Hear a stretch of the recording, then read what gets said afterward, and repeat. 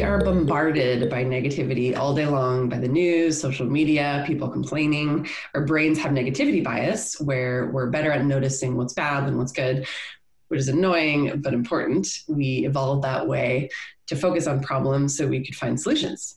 And in order to survive, we had to learn what was dangerous or what could harm us and attend to that first. But now that often takes the shape of people around us constantly complaining or blaming, judging their surroundings. And it's really important for our mental health to balance that out with an influx of positivity. Gratitude can help with that.